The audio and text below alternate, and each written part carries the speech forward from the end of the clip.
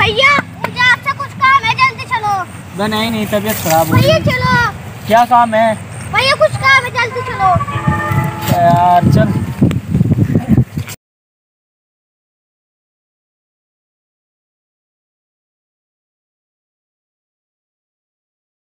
मैं कहाँ ले जा गया यार?